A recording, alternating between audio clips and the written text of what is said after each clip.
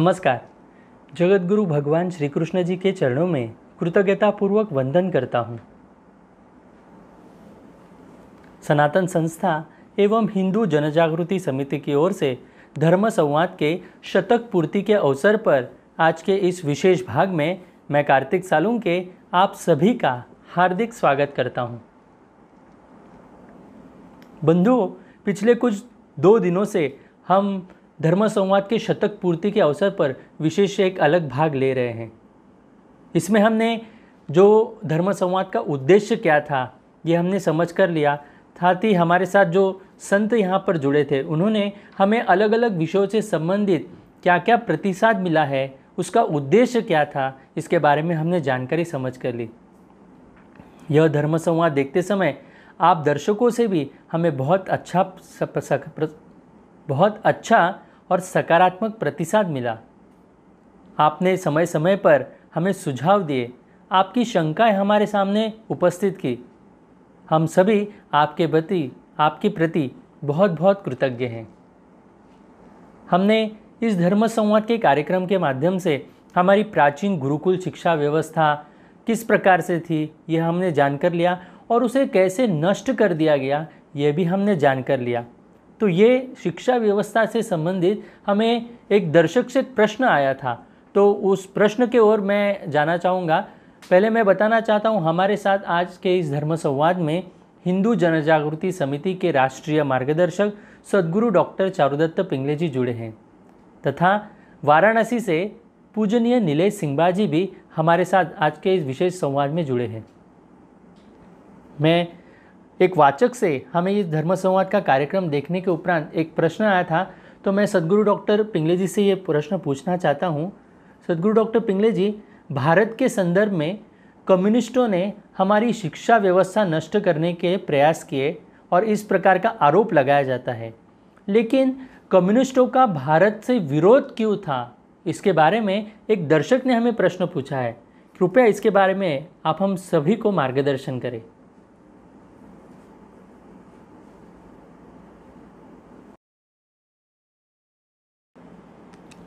कार्तिक जी कम्युनिस्टों का भारत को विरोध क्यों है?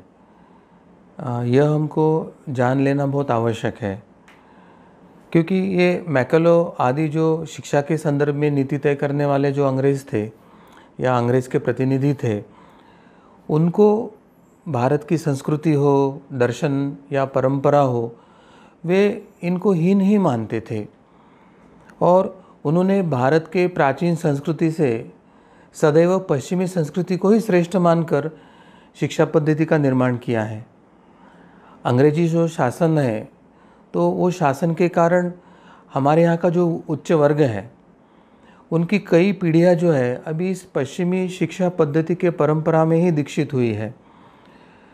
और जिसने भारतीय संस्कृति को हीन तथा पश्चिमी संस्कृति को श्रेष्ठ करके प्रचारित किया, उसका भारत के अंदर जो बड़ा एक पापों में श्रेय जाता है, वो भारत के इस उच्च शिक्षित पीढ़ी को ही जाता है। मार्क्सवादी हो, वामपंथी विचारधाराएँ यह सभी जो है, पश्चिम देशों की उत्पत्ति है। पश्चिम देरों पश्चिमी देशों से ही इसका स्रोत निर्माण हुआ है। तो इन जो उच्च शिक्षित भारतीयों की जो पीढ़ियाँ हैं, उन्होंने मार्क्सवाद या वामपंथ को ही सदैव भारत में महत्व दिया है। उन्नीसवीं से लेके तो बीसवीं सदी तक हमारे देश के जो अनेक जो भावी नेता थे या भावी विद्वान हैं, वे सभी पढ़ने के लिए इंग्लैंड ही जाते थे। और फिर इंग्लैंड जाने के बाद वहाँ की जो प्रचलित फ़ैशन थी कि सब लोग वामपंथी से प्रभावित होते थे तो ये भारत से जाने वाले भी वहाँ जाने के बाद वामपंथ से प्रभावित होते थे और भारत में लौट के आते थे। इतना ही नहीं तो इनका मूल उद्देश्य क्या था? वामपंथी विचारधारा या अंग्रेज़ों का मूल उद्देश्य हेतु क्या था? तो वो चाहते थे कि भारत का जो युवा है, भारत का युवा स्वतंत्र समर में जो एक स्वदेशी आंदोलन निर्माण हो रहा था तो वो स्वदेशी आंदोलन से भारत का युवा दूर रहे। और दूसरी बात, उन्हें डर लग रहा था कि अगर भारतीय युवा, अगर क्रांतिकारियों के पीछे गए तो हमको भारत जल्दी छोड़ के जाने पड़ेगा। तो इस भय से यह अंग्रेज़ वामपंथ विचार के द्वारा भारतीय युवकों को एक तरफ़ से स्वदेशी आंदोलन से दूर रख रहे थे, दूसरी तरफ़ क्रांतिकारियों से दूर रखने के लिए प्रयास कर रहे थे। और ये दूर रखने के प्रयास के लिए उन्होंने वामपंथ का जाल जैसे इंग्लैंड में फैलाया, वैसे उच्च शिक्षित भारतीयों के माध्यम से उन्होंने भारत में भी वामपंथ का प्रचार करके युवकों को अलग सलग करने का प्रयास किया था। अब भारत की युवा अगर हिंदू चिंतन या हिंदू चेतना से अगर प्रभाव प्रभावित रहेगी तो निश्चित स्वराज्य की मांग करे। और यह मांग उन्होंने नहीं करना चाहिए। इसके लिए इन युवकों के साथ जो हमारे क्रांतिकारी थे, उन क्रांतिकारकों को भी मार्क्सवाद की ओर झुकाने का, उनको क्रांति के या स्वतंत्र समर के पद से पथभ्रष्ट करने का एक षड्यंत्र जो अंग्रेज़ों ने रचा था तो उस षड्यंत्र के तहत वे क्या करते थे कि क्रांतिकारियों को पकड़ के जेल में ठूसते थे और जेल में ठूसने के बाद उनको मार्क्सवाद, लेनिन इनके पुस्तक पुस्तिकाएँ पढ़ने के लिए देते थे। उसके पीछे उनका छुपा उद्देश्य क्या था?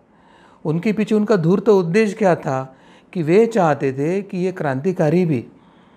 भारत में जो चल रहा है, जो स्वदेशी का आंदोलन चल रहा है, या इनके माध्यम से भारत में जो भारतीय राष्ट्रवाद पनप रहा है, इनके माध्यम से क्रांतिकारी परंपरा जो भारत में निर्माण हो रही है जो अंग्रेज़ों को निश्चित और शीघ्रता से भारत से हकाल देंगी, ऐसे विश्वास अंग्रेज़ों को लग रहा था तो यह सब ना हो।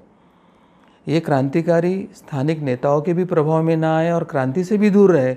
इसके लिए ये मार्क्सवादी या लेनिनवादी या ये जो वामपंथी विचारधारा की पुस्तक है, वो क्रांतिकारकों को जेल में पढ़ने के लिए दे रहे थे। अंग्रेज़ ये निश्चित जानते थे कि ये जो उनकी देशी प्रेरणा है, भारतीय राष्ट्रवाद है, स्वदेशी एक आंदोलन की जो चिंगारी है ये अंग्रेज़ों के भारत के अस्तित्व के लिए सबसे घातक है और इसलिए ये सब उनके षड्यंत्र चल रहे थे।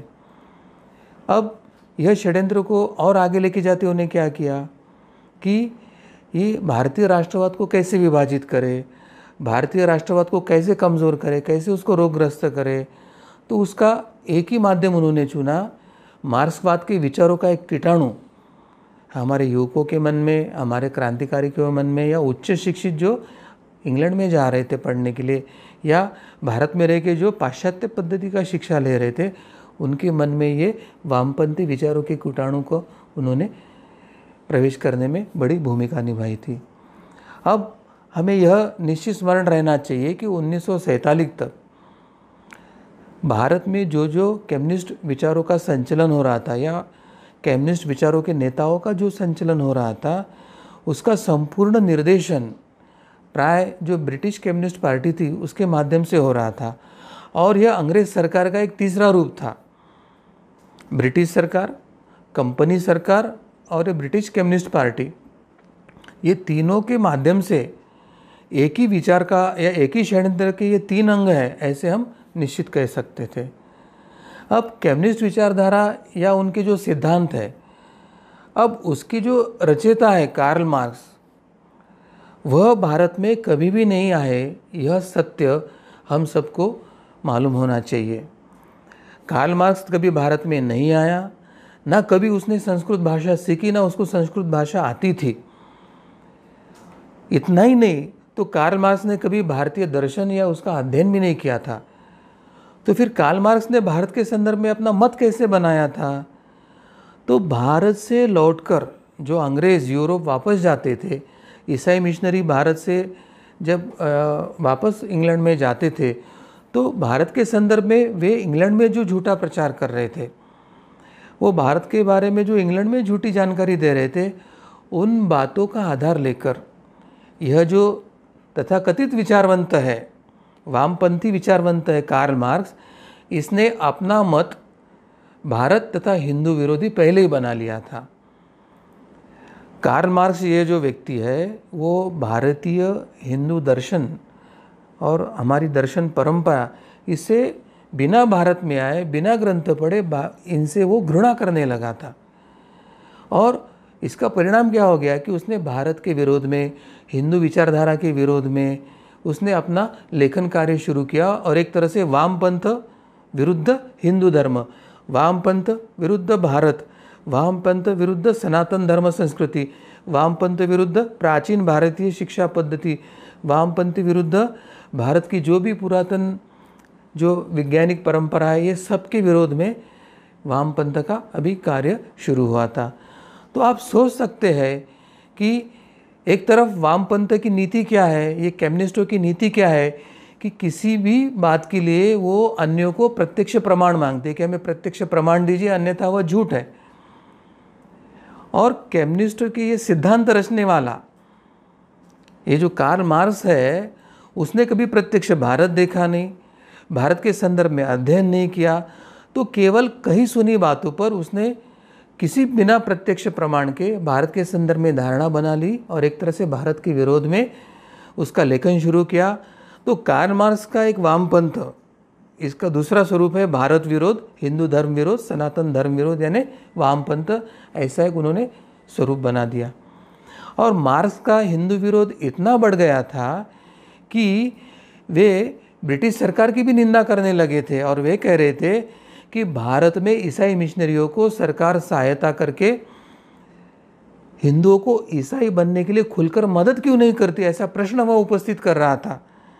यानी वामपंथ ये क्रिश्चियन मिशनरियों का दूसरा रूप है, यहाँ स्पष्ट होता है।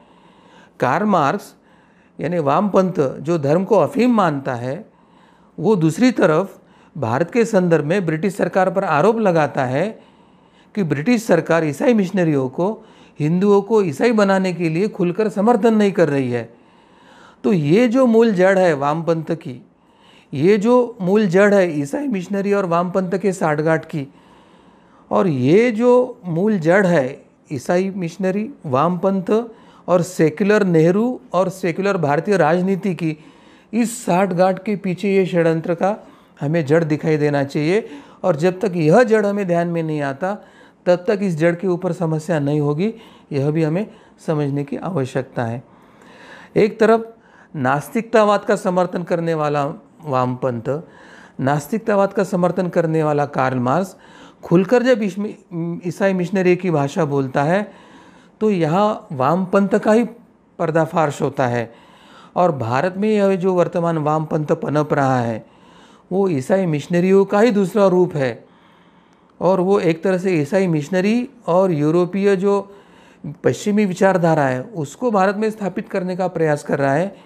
यह आज भी और इस क्षण को भी हमें समझ कर लेने की आवश्यकता है और इसके विरोध में इसका प्रतिवाद करने के लिए, इसका पर्दाफाश करने के लिए हमें प्रयास करने की आवश्यकता है। कार्ल मार्क्स ईसाई मिशनरी की भाषा कैसे बोल रहा था, वो उसके शब्द में अभी हम जान लेंगे। कार्ल मार्क्स कहता है कि भारत में हिंदुओं ने। स्वतः विकसित होने वाली जो एक सामाजिक स्थिति है, उस स्थिति को एक अपरिवर्तनीय प्राकृतिक नियति में बदल दिया है। और इसका परिणाम यह हुआ कि प्राकृति की दास्तापूर्ण आराधना को उन्होंने जन्म दिया है। इस पतित अवस्था का प्रदर्शन इस बात में होता है कि मनुष्य जो प्रकृति का स्वामी है, यानी मनुष्य यानी हम मानव ये जो पूरा निसर्ग है, प्रकृति है, उसका स्वामी है, ऐसे वे कह रहा है। तो वह कहता है कि मनुष्य जो प्रकृति का स्वामी है, वह घुटनों के बल, हनुमान, यानी एक बंदर, यानी हमारे भगवान हनुमान को, वह बंदर कह रहा है, ये ध्यान में रखो। तो कारमास कहता है कि जो प्रकृति का स्वामी है, मनुष्य, वह घुटनों के बल पर हनुमान एक बंदर और सबाला जो एक गाय है, उसको पूजने लगा है। यहाँ पर कारमार्स हनुमान जी का अवतार होना या गौ माता का पवित्र होना, तथा ये जो निसर्ग है, प्रकृति है, उसके प्रति जो हिंदुओं की कृतज्ञ होने की जो कहीं भाव या भावना भाव भक्ति है तो उसको न स्वीकारते हुए वो किस तरह से अपनी बात रख रहा है वो हमें देखने की आवश्यकता है। यानी उसे कितनी घृणा थी गौ माता से, उसे हनुमान जी से कितनी घृणा थी, और वो हनुमान जी को बंदर कह रहा है तो उसकी हिंदू विरोधी, सनातन धर्म विरोधी, हमारी देवी देवता के विरोध में, हमारी गोमाता के विरोध में, ये वामपंथों की क्या भावना है वो कैसे विचार करते हैं, उसका प्रतिबिंब कार्ल मार्क्स का यह विचार बताता है। मार्क्स मनुष्य को प्रकृति का स्वामी मान रहा है और आज वर्तमान में हम अनुभव कर रहे हैं कि ये जो कोरोना का, कोविड का संकट आया है तो उसने कार्ल मार्क्स और वामपंथों को नहीं तो समस्त विज्ञान और विज्ञानवादियों को, आधुनिकतावादियों को घुटने के बल पर टेकने के लिए बाध्य किया है। मार्क्स के विचारों की जो विफलता है या विज्ञानवाद का विफलता है, उसका उत्तम उदाहरण कोई है तो ये कोविड का संकट है। मगर दूसरी तरफ़ वामपंथी विचार क्या कहता है? मार्स कहता है, वो मनुष्य तो प्रकृति का स्वामी है। कितना अहंकार का लक्षण है ये। और हमारा हिंदू दर्शन, उसके विरोध में हमारा हिंदू दर्शन क्या सिखाता है? वह कहता है कि मानव और प्रकृति दोनों ईश्वर द्वारा निर्मित है। हमारे यहाँ अगर अनपढ़ कोई मछुआरा भी है, अगर उसने किसी ने भौतिक या आधुनिक शिक्षा नहीं ली होगी तो भी वह समुद्र में मछुए पक मछली पकड़ने जाता है तो समुद्र को पहले देवता मानकर पूजा करता है और फिर अपने सेवा कार्य का वो आरंभ करता है। और उसे ये भाव रहता है कि यह जो समुंदर है, उसी के ही कृपा से अपना परिवार पलता है, अपना परिवार चलता है, ऐसा कृतज्ञता भाव भी वह व्यक्त करता है। यानी भारतीय दर्शन में, भारतीय परंपरा में निसर्ग के प्रति कृतज्ञता भाव है और हम प्रकृति के स्वामी हैं, ये कालमास का विचार प्रकृति के दोहन के लिए, पंचमहाभूतों के प्रदूषण के लिए और आज जो विश्व विनाश के कगार पर गया है, उसके विनाश के लिए कारणीभूत है। यह समझने की हमें आवश्यकता है। और यह जो वक्तव्य कारमास कर रहा है, उसमें वह प्रकृति की पूजा को आलोचना कर रहा है। मार्क्स हमारे भारतीय परंपरा में हम जो प्रकृति की पूजा करते हैं जल देवता है वायु देवता है, भूमाता है भू देवता है तो इन पूजा की वह आलोचना कर रहा है। और ऐसे व्यक्ति को, ऐसे बुद्धिवादी नास्तिक और अश्रद्ध व्यक्ति को विश्व और बहुत से लोग उसको बड़ा विद्वान मानते हैं। यह बड़ी शोकांतिका है विश्व की। मार्क्स भारत की पहचान को हिंदू के रूप में ही मानता है।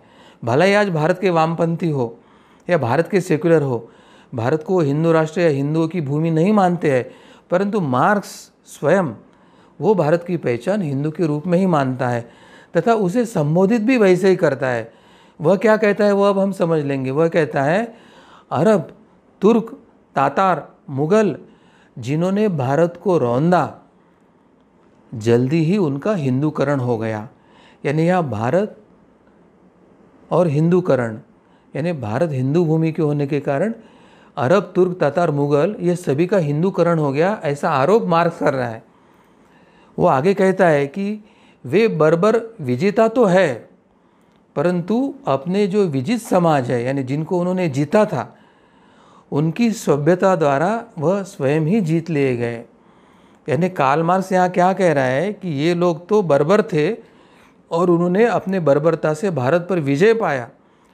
मगर भारत पे विजय पाया तो जो विजेता थे, यानी जो पराजित हुए थे भारतीय, उनकी उन्नत सभ्यता द्वारा इन लोगों को जीत लिया और उसके कारण वह कहते हैं कि अरब, तुर्क ये सब उनका हिंदूकरण हुआ है।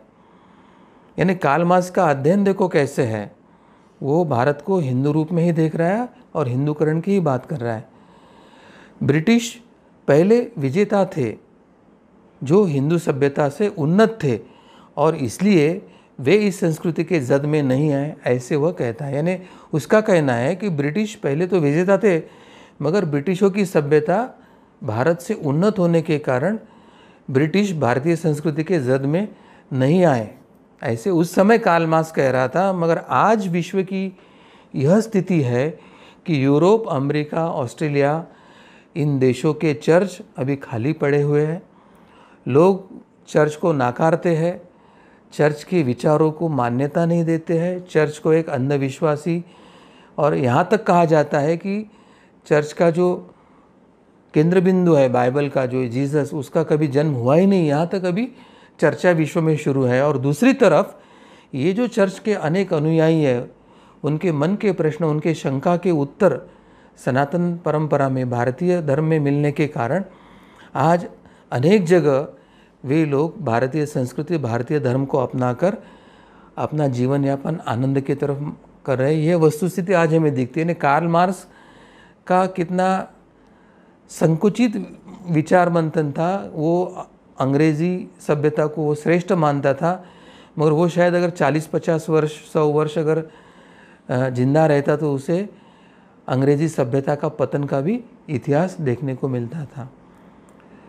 ये वाक्य में कार्ल मार्क्स ने स्पष्टता से मुसलमानों की सभ्यता को बर्बर कहा है और वहाँ पर ये मान्य किया है कि हिंदू सभ्यता मुसलमानों की सभ्यता से उन्नत थी।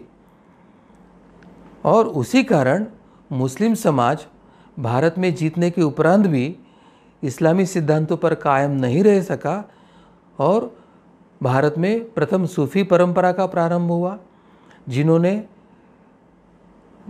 उनके धर्म सिद्धांतों के विरोध में भक्ति गीत गाना प्रारंभ किया था।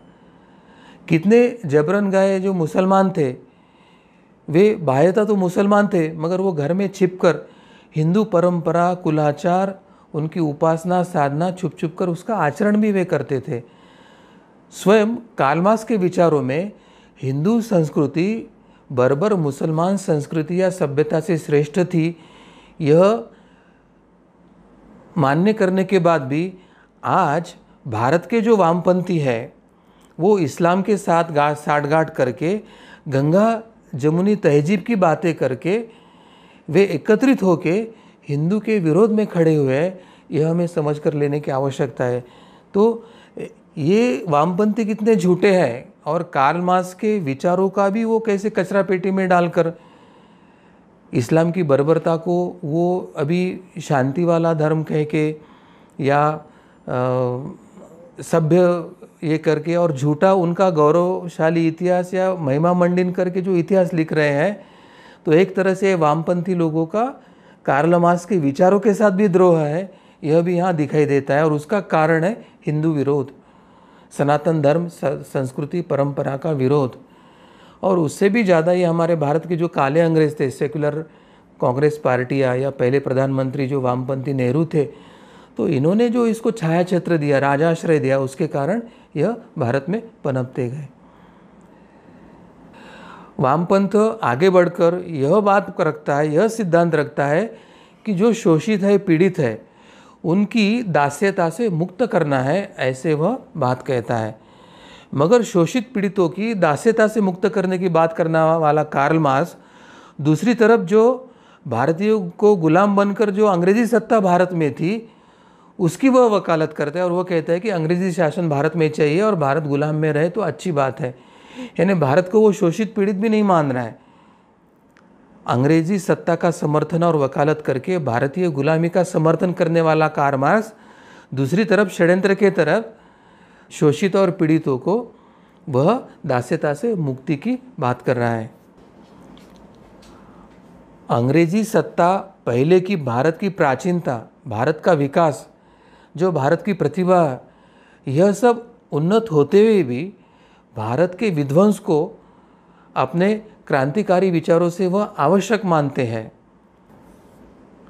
कारमास कहता है कि सवाल यह नहीं है कि इंग्लैंड को भारत पर राज्य करने का अधिकार है या नहीं। मार्स कहता है कि बल्कि सवाल यह होना चाहिए कि भारत को किसकी गुलामगिरी स्वीकारना है? भारत को तुर्कों, ईरानियों या रूसियों द्वारा अधिकार में लिया जाना पसंद है? या ब्रिटिशों द्वारा। यानी वो हमको ऑप्शन दे रहा है एक तरह से कि देखो, अगर हमने आप पर राज नहीं किया तो तुर्क, ईरानी, नहीं तो रूसी आकर आपको गुलाम बनाएँगे। तो इससे अच्छा है कि आप हमारी गुलामी स्वीकार कर लो। क्या थोर तत्वज्ञान है? क्या वामपंथ विचार है? और ये कार्ल मार्क्स को वो विचारबंद मानते हैं, जो गुलामगिरी का समर्थन करता है। और उसका महिमा मंडन आज भारत में बचे बुचे जो ये वामपंथी विचारधारा या ये जो काले अंग्रेज़ नेहरू और सेकुलर कांग्रेस पार्टी है वह इसका समर्थन करती है। कितनी बड़ी विडंबना है भारत की। ब्रिटिश सत्ता को भारत में दोहरा मिशन पूर्ण करना है। उसमें का पहला था एक विध्वंसात्मक और दूसरा पुनर्जीवन देने वाला। अब वह कहता है कि पुराने एशियाई समाज का संपूर्ण विनाश, यह उसका विध्वंसक कार्य था और एशिया में पश्चिमी समाज के निर्माण के लिए भौतिक नींव डालना यह उसका नवनिर्मिति का दूसरा ध्येय था। यहाँ पर चाहे मार्क्स हो, मेकॉले हो या मैक्स मुलर हो, ये तीनों के विचार और अंग्रेज़ी सत्ता के जो कानून हैं, इसमें बहुत सी समानताएँ हमें दिखाई देती है और ये कैसे षड्यंत्र के तहत किया गया है, वो हमें ध्यान में आता है। मूलतः प्राचीन जो भारतीय संस्कृति है, उसको नष्ट करके भारत में अंग्रेज़ी परंपरा को कायम करना यही उनका एकमात्र उद्देश्य था।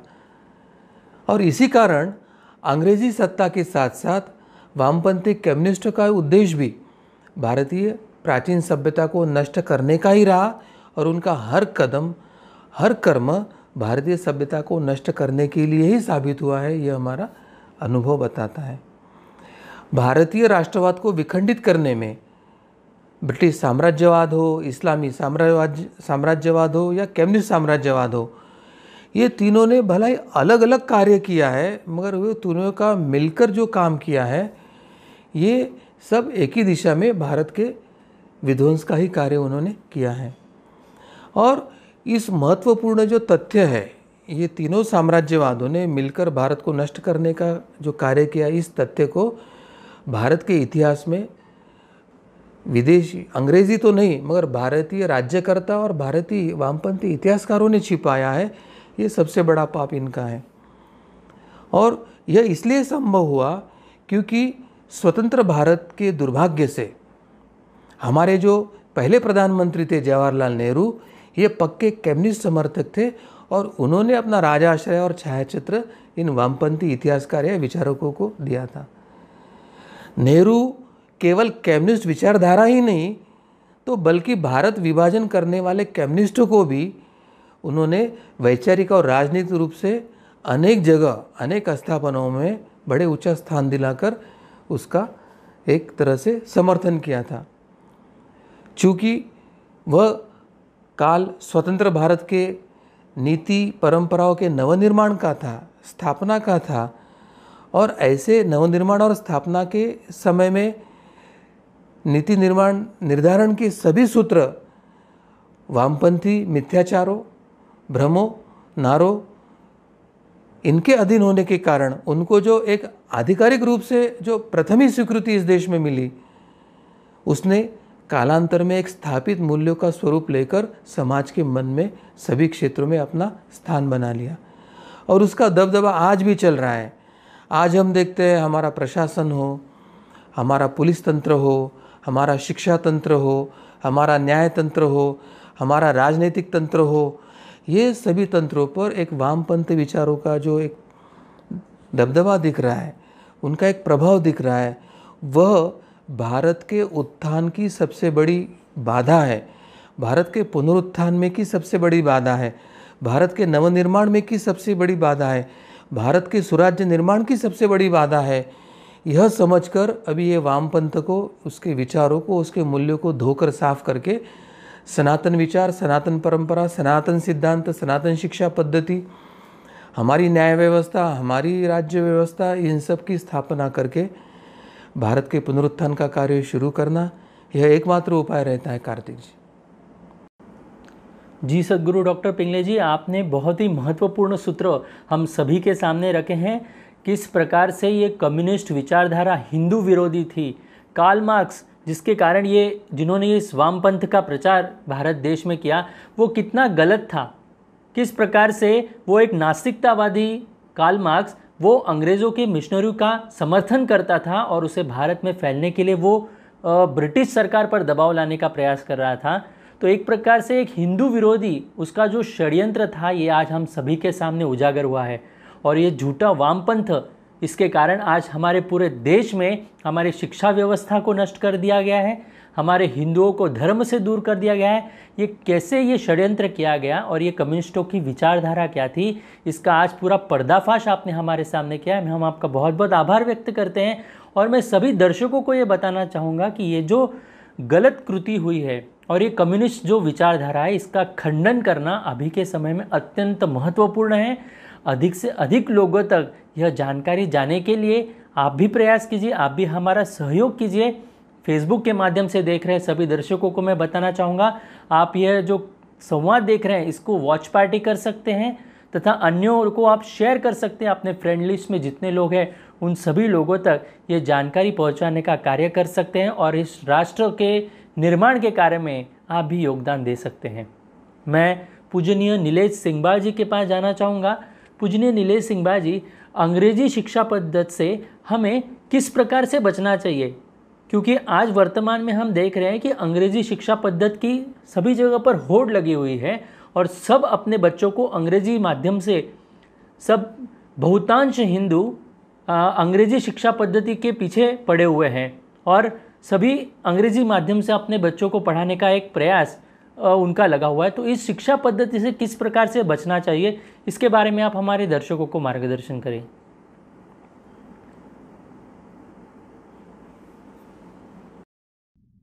जी, आज मैकले शिक्षा पद्धति के अनुसार हम शिक्षा ग्रहण कर रहे हैं, परंतु उससे हम अपने ही दूर, धर्म से दूर जा रहे हैं। आज की भाषा में यदि कहा जाए तो हमारे मन के सॉफ्टवेयर में पाश्चात्य विकृति वाला वायरस इंस्टॉल हो चुका है। हम हमारी वेशभूषा, हमारी केशभूषा, आहार, संस्कृति, परंपरा सभी को भूलते जा रहे हैं। आज हमें धर्म पालन जो है, वो हास्यास्पद और निचले स्तर का लग रहा है। परंतु हमारी संस्कृति को त्यागने का परिणाम आज हम प्रत्येक घर में देख रहे हैं। मेरा आप सभी से यही प्रश्न है कि क्या आज की पीढ़ी वाकई में सुखी है? हमारी पिछली जो पीढ़ियों के पास सुविधाएँ बहुत अल्प थी, परंतु उनके मन में और आचरण में एक धर्म के संस्कार थे। अतः हमारे दादा, दादी और उनसे पहले की पीढ़ियाँ सभी दृष्टि से हमारी अपेक्षा सशक्त और संतुष्ट थी। आज यदि हमें उसी धरोहर को आगे बढ़ाना है तो हमें ऋषि मुनियों के द्वारा दिए गए मार्ग से ही आगे बढ़ना पड़ेगा। और ये ध्यान में रखें कि हमारे धर्म ग्रंथों में लिखा गया, ऋषि मुनियों के द्वारा बताया गया एक भी विचार अथवा धर्माचरण पिछड़ा हुआ नहीं है। उनमें बताए गए प्रत्येक कृति का वैज्ञानिक कारण है। सनातन संस्था आज आधुनिक यंत्रों की सहायता से नियमित रूप से शोध कार्य कर रही है। मंदिर में जाने से पहले व्यक्ति का आभा मंडल, यानी और कैसा था, और मंदिर जाकर आने के बाद उसके पश्चात वो कैसे रहा? तिलक लगाने के पहले और तिलक लगाने के बाद उसका और आभा मंडल कितना, किस प्रकार से था, उसमें कितना बदलाव हुआ, ये सब परीक्षण किया जा रहा है।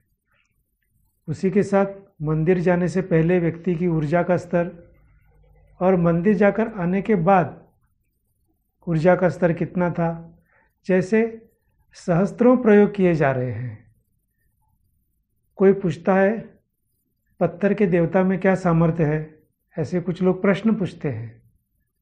आज आधुनिक यंत्र ये प्रमाणित कर रही हैं कि पत्थर की देवता की मूर्ति में भी प्रचुर मात्रा में ऊर्जा है, शक्ति और चैतन्य भी है। आज की पीढ़ी से मेरा आह्वान है कि आप अपने धर्म को कभी भी नीचा न समझें। आप वैज्ञानिक दृष्टिकोण से धर्म का अध्ययन करें, धर्माचरण आरंभ करें। इसी से आपको ईश्वर के अस्तित्व की प्रतीति हुए बिना बिल्कुल नहीं होगी, बिल्कुल नहीं रहेगी। आज अंग्रेज़ी शिक्षा से हमारा मनोभाव केवल बदला ही नहीं तो और नीचे के स्तर पर वो गिर चुका है। आज पहले जैसे घर में तुलसी लगाई जाती थी, आज घर में तुलसी की जगह मनी प्लांट ने ले ली है। गौ माता की जगह कुत्ते ने ले ली है। हमने हाथ जोड़कर नमस्ते करना, राम राम कहना, छोड़ दिया है और शेखंड करना आरंभ कर दिया है। जन्मदिन पर आरती उतार छोड़कर केक काटना, उसको फूक मांग मार कर मोमबत्ती को जलाना, बुझाना इत्यादि प्रारंभ कर दिया है। बाहर से घर में आते समय पैर धोना तो दूर की बात। जूते पहनकर हम घर में घूमने लगते हैं। क्या खाना है, कब खाना है, कैसे खाना है, इसका भी हमें आज ध्यान रखना छोड़ दिया है। जूठा या प्राणियों के द्वारा सूंघा हुआ खाना न खाना, जन्म मृत्यु के समय सूतक रखना, आदि सभी हमारे आचार धर्म की बातें हमने पिछड़ेपन के नाम पर ठुकरा दी है। मंदिर जाने से हमें न्यून भावना लगने लगी है। लेकिन हमने अपने अज्ञानवश जिनको छोड़ा है, आज संपूर्ण विदेश उसको अपना रहा है। पहले स्वाइन फ्लू आया था और अब कोरोना के बाद पूरा विश्व नमस्कार करने लगा है। डिस्कवरी चैनल आज ये शोध बता रहा है कि बच्चा जब जन्मदिन पर केक पर रखी मोमबत्ती बुझाता है तो उसके मुँह के जीवाणु जाकर केक पर गिरते हैं। ऐसा झूठा केक खाना सेहत के लिए गलत है। और कोरोना के बाद अब बाहर से आने पर लोग स्नान कर रहे हैं, हाथ पैर धो रहे हैं, लेकिन हम क्यों भूल गए हैं कि हमारे यहाँ संध्या होती थी? हमारे धर्माचरण में केवल स्वच्छता ही नहीं, स्वच्छता के साथ साथ पवित्रता भी कैसे रहे, इसका गहरा चिंतन हमारा है। पर हमने सब छोड़ दिया। अब उसके परिणाम हम भुगत रहे हैं। केवल भोजन की बात करें तो हमारे यहाँ केवल बाह्य सफ़ाई का तो पूरा ध्यान रखा ही जाता है। पर भोजन बनाते समय मन भी पवित्र रहे, मन में पवित्रता आए, इसलिए भगवान को भोग लगाने की व्यवस्था है। भोजन को यज्ञ का स्थान देकर उससे पहले प्रार्थना होती थी। भोजन बनाना, भोजन परोसना, खाना आदि सभी के विषय में कुछ नियम थे। भोजन का एक अंश गौ माता और कुत्ते के लिए निकाला जाता था। इतना विलक्षण आचरण छोड़कर हमने आज हमारी स्थिति कैसे बनाई? आज तो घर का ताज़ा भोजन छोड़कर होटल का खाना, स्विगी, जोमेटो से आ रहा खाना, ये खाने में ज़्यादा लोग पसंद करते हैं ऐसे प्रकार के खाने को। विवाह और पार्टियों में हमें खड़े होकर खाना अपनी एक प्रतिष्ठा लगने लगी है तो बीमारी क्यों नहीं आएगी? और मानसिक बीमारियाँ भी आएँगी। समाज ही ऐसा आचरण करने लगेगा तो प्रकृति का कोप तो होना ही है। एक ही उदाहरण बताता हूँ, हम सब अंदर झाँक कर विचार करें अवश्य।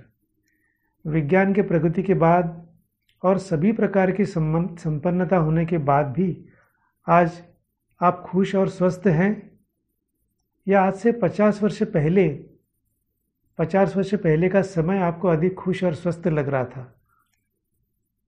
यदि पिछले पचास वर्ष की तुलना में आज आप दुखी हो गए हो तो आगे के पचास वर्षों में क्या होगा, इसकी तो कल्पना भी नहीं कर सकते हैं। परंतु अभी भी समय है, हमें हमारे धर्म, संस्कृति की ओर लौटना होगा और पूरे विश्व को राह दिखानी होगी कि प्रकृति को संतुलित होना है तो पूरब की ओर लौटना है।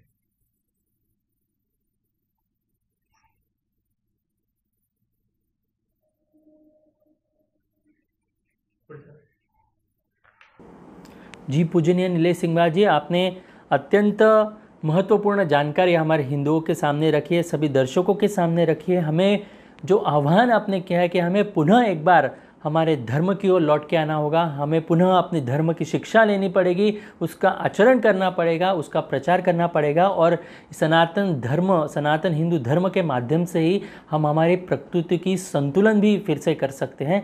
तो मैं सभी दर्शकों को यह आह्वान करना चाहूँगा कि ये जो महत्वपूर्ण विषय यहाँ पर बताया जा रहा है, ये अधिक से अधिक लोगों तक पहुँचाएँ।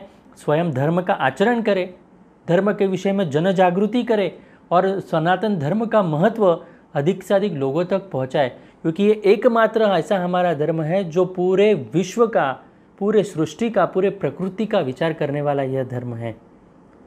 हमारे पुरखों को हमने देखा किस प्रकार से सनातन धर्म का आचरण करते हुए वो आनंदित थे। आज बंधुआ हम वो आनंद अनुभव नहीं कर पा रहे हैं, सभी सुख सुविधा होने के बावजूद भी। इसीलिए हमारा सभी दर्शकों से यह आह्वान है कि धर्म की शिक्षा लें, धर्म के विषय में जागृति करें। आपको धर्म शिक्षा से संबंधित यदि कुछ जानकारी चाहिए हो तो आप अवश्य हिंदू जनजागृति समिति के वेबसाइट पर अवश्य जाकर देख सकते हैं। मैं हमारे सभी दर्शकों को एक आनंद वार्ता भी देना चाहूँगा कि आज इस धर्म संवाद के शतक पूर्ति के अवसर पर हमने आज तक यह धर्म संवाद शुरू होने से अभी तक जितने भी कार्यक्रम किए, जितने हमारे भाग हुए हैं अलग अलग विषयों से संबंधित, इन सभी की जानकारी हमारे वेबसाइट पर उपलब्ध करवा कर दी है। आप हमारे वेबसाइट पर जाकर कोई भी भाग आप देखना चाहते हैं, कोई भी विषय से संबंधित आप जानकारी लेना चाहते हैं, आप अवश्य वेबसाइट पर जाकर यह धर्म संवाद की मालिका देख सकते हैं और इसको अधिक से अधिक लोगों तक पहुँचाने का आप कार्य भी कर सकते हैं। मैं पूजनीय नीलेश सिंहबा जी से फिर से ये पूछना चाहूँगा कि वर्तमान में ये कोरोना की जो महामारी चल रही है तो इस कारण सभी जगह पर सरकार ने लॉकडाउन या फिर क्वारंटाइन की घोषणा कर दी गई है। तो मेरा प्रश्न ऐसे था कि प्राचीन काल में क्या हिंदू धर्म में इस प्रकार से वायरस के प्रादुर्भाव से बचने के लिए कोई उपाय बताए जाते थे? इसके बारे में आप हमारे दर्शकों को बताएँ। जी। भारत में प्राचीन काल में आयुर्वेद तथा अन्य सभी शास्त्र प्रगत अवस्था में थे। सूक्ष्म जीवाणु से भी आगे बढ़कर सूक्ष्मतम रजतम कोणों का भी मनुष्य पर प्रभाव होता है ये उन्होंने सिद्ध किया था और उसे शास्त्रों के आधार पर हमें धर्माचरण के रूप में बताया जाता था। लेकिन वामपंथियों ने उसे हास्यास्पद प्रचारित किया और फिर आज एक वायरस ने संपूर्ण विश्व को उसी सनातन धर्म के सिद्धांत का महत्व दिखाया। प्राचीन काल में हमारे यहाँ यज्ञ, अग्निहोत्र, गौ माता से प्राप्त पंचगव्य, इनके कारण वातावरण की शुद्धि हो जाती थी। हमने आरती में, आरती करते समय कपूर को जोड़ा, कपूर से जोड़ा, हर दिन कपूर जलाने का महत्व समझाया ताकि घर के जीवाणु मर सके। वातावरण को शुद्ध करने के लिए मंदिरों में शंखनाद किए। लेकिन फिर भी कोई प्रादुर्भाव न हो, इसलिए हमें सूतक के रूप में क्वारंटाइन का महत्व बताया गया था। हमारे घरों में किसी की मृत्यु होती है तो उसके शव में भी ये दूषित जीवाणु होते हैं। उनसे प्रादुर्भाव न हो, इसलिए हिंदू धर्म में शवों का दाह संस्कार करते हैं। इतना ही नहीं उनसे प्रादुर्भाव न हो, इसलिए हिंदू धर्म में शवों का दाह संस्कार तो करते ही हैं। और जो लोग अंतिम यात्रा में जाते हैं, उन्हें सबको सूतक लगती है। वो अपने घर जाने से पहले नहाते हैं और फिर घर में प्रवेश मिलता है। जिसके घर में मृत्यु होती है, उसके परिवार में बारह दिन तक सूतक रहता है। उस कालावधि में सबसे अलग रहना, भोजन नहीं बनाना, मंदिर में पूजा नहीं करना, ये सब बताया जाता है। सूतक के घरों का पानी भी नहीं पिया जाता था। जिस व्यक्ति की मृत्यु होती है, उसके उपयोग किए गए सारे जो रजाई, गद्दे, चादर सब जलाते, जलाए जाते हैं और फिर नहीं तो फेंक दिए जाते हैं। हमारे यहाँ बच्चे का जन्म होने पर भी एक जन्म जन्म सूतक, जिसको मराठी में सोयर कहते हैं, ये लागू करके माँ बेटे को अलग कमरे में रखते हैं। वहाँ पर आयुर्वेदिक दवाइयों को जलाकर धुआँ करना और इसके द्वारा शुद्धि रखी जाती है। इस प्रकार से माँ बेटे को सुरक्षित रखने के लिए क्वारंटाइन करते हैं। हम मल विसर्जन करते हैं तो शरीर की भी शुद्धि करते हैं। हम तो हर दिन कपड़े धोकर पहनने के लिए कहते हैं। हमें भोजन करने से पहले अच्छी तरह से हाथ धोने का महत्व समझाया गया है। हमें बाहर से आने पर हाथ पैर धोकर ही घर के अंदर जाने का महत्व समझाया गया है। हमने सुबह गर्म पानी से नहाते हुए, पानी में कभी कभी हल्दी या नीम डालने के लिए बताया जाता है। हमें चंद्र ग्रहण और सूर्य ग्रहण के कालावधि में भोजन निषेध करने को कहा गया है। हमें दीपावली, नवरात्रि तथा गणेशोत्सव से पहले पूजन के नाम पर घर में साफ़ सफ़ाई करने के लिए सिखाया गया है। दीपावली पर घर के कोने कोने को साफ़ किया जाता है। चूना पोत कर जीवाणुओं को भी नष्ट किया जाता है। तो हम सुसंस्कृत, समझदार, अति विकसित, महान संस्कृति को मानने वाले हैं। आज हमें गर्व होना चाहिए कि पूरा विश्व हमारी संस्कृति को सम्मान से देख रहा है। वो अभिवादन के लिए हाथ जोड़ रहा है। वो शव जला रहा है, वो हमारा अनुसरण कर रहा है। हमें भी भारतीय संस्कृति के महत्व को, उसकी बारीकियों को और अच्छे से समझने की आवश्यकता है, क्योंकि यही जीवन शैली सर्वोत्तम है, सर्वश्रेष्ठ है और सबसे उन्नत है।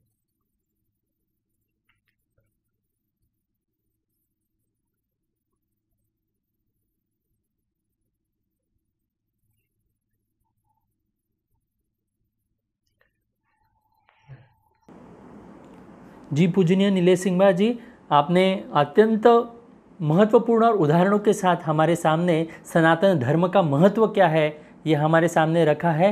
सुसंस्कृत, समझदार और अति विकसित महान संस्कृति को मानने वाला हमारा सनातन हिंदू धर्म ही है और इसके बारे में हमें अभिमान होना चाहिए कि हम इस सनातन धर्म का एक अविभाज्य अंग हैं।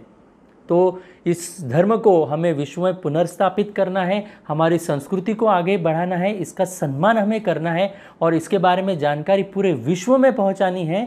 वसुदेव कुटुंबकम, ये हमारी भावना है। तो पुनः एक बार भारत को अगर विश्व गुरु बनना होगा तो हमें सनातन धर्म राज्य लाना होगा। सनातन धर्म की परंपरा, संस्कृत भाषा, इन सभी का प्रचलन और प्रचार प्रसार बढ़ाकर हर एक हिंदू के मन में हमें वो विचार, वो बीज बोना होगा और तभी ये फिर से पुनः एक बार भारत विश्वगुरु बनेगा।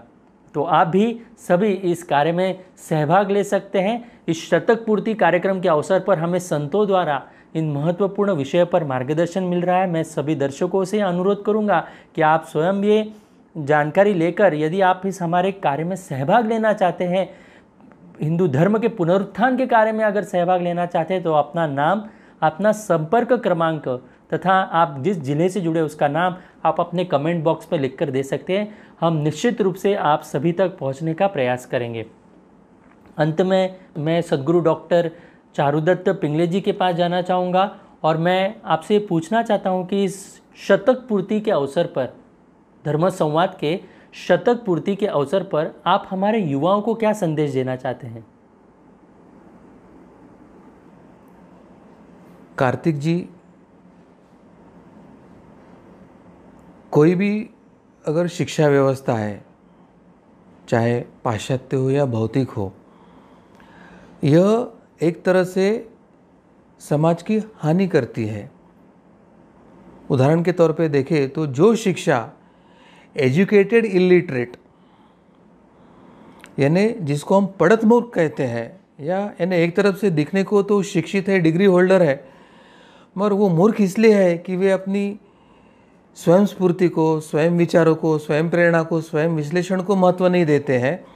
और अपना मत कोई तो न्यूज़पेपर में छपे हुए न्यूज़ के कारण या आर्टिकल के कारण या कोई इलेक्ट्रॉनिक मीडिया के ऊपर जो चर्चा चल रही उसको सुनकर करते हैं। यानी आज का जो ये मत निर्धारण की जो प्रणाली है, वो मीडिया माइंडसेट क्रिएट करती है या एडवर्टाइजिंग माइंडसेट क्रिएट करती है ऐसे कहा जाता है। तो कोई चैनल या कोई न्यूज़पेपर या कोई राजनेता जो आपका आदर्श है, वो अगर झूठ भी कह दे तो उसे आके बनकर स्वीकारने की एक परंपरा भारत की शिक्षित पीढ़ी में आई है। यानी शिक्षा का अर्थ होता है कि आपके सामने कोई विचार आता है, कोई सिद्धांत आता है तो आपका तर्क, आपका अनुभव, प्रत्यक्ष घटना इन सबको देखकर विश्लेषण करके वो योग्य है या अयोग्य है, यह जांचने की आवश्यकता होती है। परंतु अपने पसंद का आदर्श उसके किसी भी विचारों को आके बंद करके आके मून करके स्वीकारना, यह एजुकेटेड इलिटरेट पीढ़ी जो भारत में निर्माण हुई है या विश्व में निर्माण हो रही है, उसका ये एक प्रतिनिधिक स्वरूप है ऐसे मैं कहूँगा। क्योंकि समर्थ रामदास स्वामी ने अपने दासबोध ग्रंथ में ही पढ़त मूर्ख, यानी दिखने को तो शिक्षित है, मगर वो मूर्ख है। वो कहीं कहीं सु, कहीं सुनी बातों पर ही अपना मत बनाता है। इस तरह का एक पढ़त मूर्ख का लक्षण उन्होंने बताया और उसी का प्रभाव आज पूरे विश्व में दिख रहा है। तो सबसे पहले मैं भारत के युवकों को यही आह्वान करना चाहूँगा कि आप एजुकेटेड इलिटरेट, यानी पढ़त मूर्ख ना बने। आपके सामने जो भी विचार, जो भी सिद्धांत या जो भी इतिहास आ रहा है, जो भी शिक्षा में सूत्र आ रहे हैं, वो अपने तर्कों के साथ, अन्य जो प्रमाणित जो बातें हैं, उनके साथ अभ्यास करके, योग्य अध्ययन करके अपना अनुभव लेकर, एक तटस्थता से, एक निरपेक्षता से उसको स्वीकारे और सही मायने में एक ज्ञान के आप उपासक बने, ऐसे मैं कहना चाहूँगा। युवकों को मैं यह भी बताना चाहूँगा कि अब आज की स्थिति में हम पश्चिमी देश को भी हारे हुए देख रहे हैं। इतना भौतिक विकास किया है, इतना आधुनिक विज्ञान ने विकास किया है, इतना आधुनिक मॉडर्न मेडिसिन ने विकास किया है। अभी भी कोरोना जैसे संकट ने इन सभी विज्ञानवादियों और आधुनिकतावादियों को घुटने के बल पर लाके बिठाया है। इतना भौतिक विकास होने के बाद समाज में मृत्यु दर कम नहीं हो रहा है अनेक जगह गरीबी हट नहीं रही है। तो एक तरह से ये भौतिक विकास निरर्थक और अनुपयोगी है, यही हमें दिखाई दे रहा है। इस कारण पश्चिम की हर एक बात अच्छी ही होती है। यह अंधविश्वास जो हमारे मन में निर्माण हो रहा है, उसको विटाकर वास्तविक स्थिति को समझकर, वास्तविक वैज्ञानिक दृष्टि से इसको देखकर समझना आवश्यक है। विज्ञान का भी अर्थ अंधानुकरण नहीं होता है। विज्ञान का अर्थ है कि आपके सामने जो लिखा है, बताया है, उसका स्वयं प्रयोग करके, उसकी स्वयं अनुभूति लेके, उसके स्वयं के ज्ञान को परख कर अपनी प्रतिभा को जागरूक रखने की प्रक्रिया को ही विज्ञान कहा जाता है। हमारे प्राचीन शास्त्रों को पढ़कर आप उनका भावार्थ पहले समझने का प्रयास कीजिए। यह शास्त्रों को पढ़ने के लिए हमें संस्कृत भाषा का ज्ञान होना आवश्यक है। तो हमें संस्कृत भाषा भी सीखने की आवश्यकता है। उसका, संस्कृत भाषा का भी ज्ञान लेने की आवश्यकता है। हमारे जो प्राचीन वैभव है, उसकी जो वास्तविकता है, सत्यता है, वो विश्व के सामने तथ्यों के साथ रखने का प्रयास हमें करना चाहिए। जहाँ पर हिंदू धर्म के संदर्भ में गलत, अयोग्य या झूठी बातें बताई जा रही है उसका अभ्यासपूर्ण खंडन करने की क्षमता हमें निर्माण करने का प्रयास हमने किया चाहिए। हमारी ये जो प्राचीन विरासत है, हमारा ये जो वैभव है, इसका धरोहर का हमें जतन करने हेतु पुढ़ाकार लेकर हमें प्रत्यक्ष इसमें योगदान देने की आवश्यकता है। राजनीति छोड़कर, धर्म और राष्ट्र के संदर्भ में राजनीति छोड़कर, यह हमें व्रत के स्वरूप में लेकर अपना कार्य शुरू करना चाहिए और उसे पूरे विश्व तक कैसे लेके जाए, इसका हमें नियोजन या आयोजन करना चाहिए।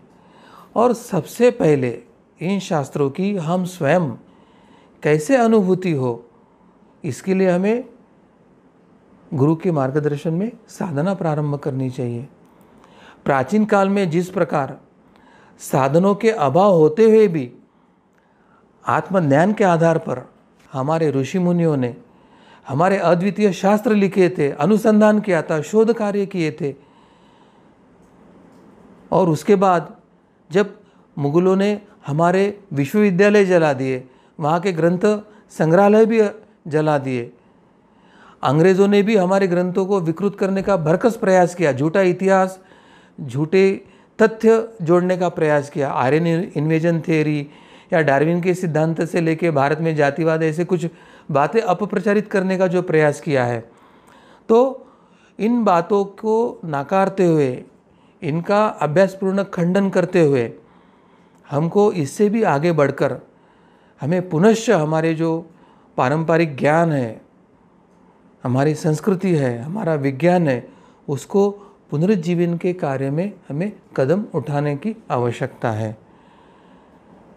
और संपल कहते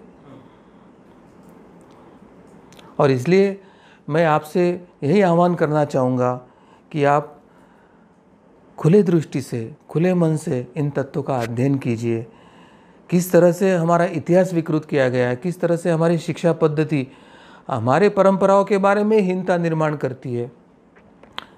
आक्रांता चाहे पाश्चात्य अंग्रेज़ी मिशनरी हो, आक्रांता चाहे अरब के इस्लामी आक्रांता हो, इनका महिमंडन महिमा मंडन करती है। और हमारी जो राजाओं की, ऋषि मुनि की जो गौरवशाली परंपरा है चाहे आयुर्वेद से निगड़ित हो चिकित्सा शास्त्र से निगड़ित हो धातु शास्त्र से निगड़ित हो, शस्त्र अस्त्र विद्या से हो युद्ध कला से हो संगीत कला से हो तो इनके संदर्भ में जो हमारी जो पारंपरिक और प्राचीन जो विरासत है तो उसकी धरोहर को संजोने के लिए हमें कंधे से कंधा मिलाकर, हमें कदम से कदम मिलाकर, आने वाले समय में आगे जाने की आवश्यकता है। मैं आप सभी से यही विनती करूँगा कि आप जो हमसे जुड़ना चाहते हैं और हम सबको मिलकर यह कार्य करना है तो आप अपना नाम, अपना फ़ोन नंबर और अपना ज़िला कमेंट बॉक्स में लिखिए।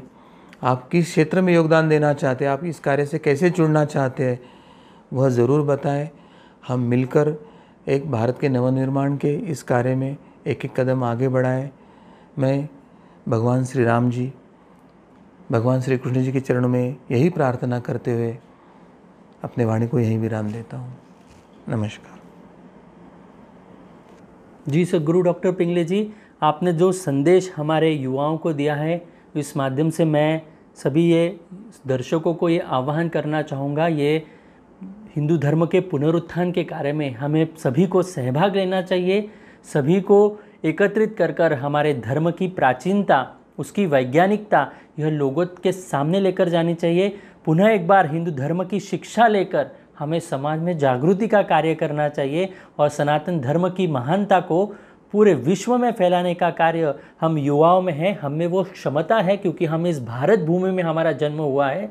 तो मैं सभी से ये अनुरोध करता हूँ कि आप सभी इस कार्य में अवश्य सहभाग लें और इस सनातन धर्म राज्य का, हिंदू राष्ट्र स्थापना के कार्य में आप अवश्य सहभाग लेकर आप सभी अपना धर्म कर्तव्य निभाइए। इस धर्म संवाद के कार्यक्रम के माध्यम से हमने आप सभी लोगों तक यह जानकारी पहुँचाने का एक कार्य यहाँ पर किया है। एक हिंदू राष्ट्र स्थापना के कार्य में यह गिलहरी समान सहभाग हिंदू जनजागृति समिति द्वारा किया जा रहा है। आप सभी दर्शकों के लिए हम एक आनंद वार्ता भी आज इस शतक पूर्ति कार्यक्रम के माध्यम से आपको बताना चाहते हैं। अभी तक शुरुआत से लेकर हमने जो शतक पूर्ति की है, सौ भाग पूर्ण किए हैं तो ये सभी सौ भाग हिंदू जनजागृति समिति की वेबसाइट हिंदू जागृति डॉट ओ आर जी इस पर रखे गए हैं। आप जब चाहे वेबसाइट पर जाकर जो भाग आप देखना चाहते हैं, उसे अवश्य देख सकते हैं। इसे अन्य लोगों तक ये जानकारी पहुँचा सकते हैं। और जब भी आपको कुछ शंका आती है तो इसका आप आधार लेकर अन्य लोगों तक ये जानकारी पहुँचा सकते हैं। बंधुओं हम सभी को सनातन धर्म का प्रवक्ता बनना चाहिए और इसके बारे में सभी जानकारी आज हमें होनी चाहिए। कोई भी अगर गलत हमारे धर्म के बारे में बताता है तो उसका खंडन होना अत्यंत महत्वपूर्ण है। हमें यहाँ पर पूजनीय संतों द्वारा सदगुरु द्वारा जो बताया गया है ये इस हमारे लिए एक एक, एक पथदर्शक है एक आदर्श है इसका हम आधार लेंगे और सभी लोगों में इसकी जागृति करेंगे।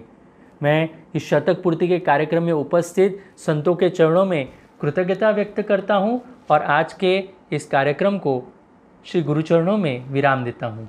नमस्कार।